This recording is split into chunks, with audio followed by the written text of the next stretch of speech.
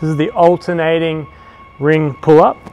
So having hands facing alternating direction and we're nice and controlled on the way up, nice and controlled on the way down and then we change, same on the other side.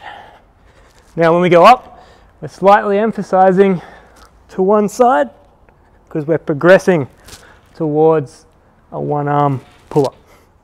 Now the extra challenge with the rings as opposed to a bar is that the rings are going to want to turn. So the more the, that you can keep the rings in line with each other, the more difficult that's going to be.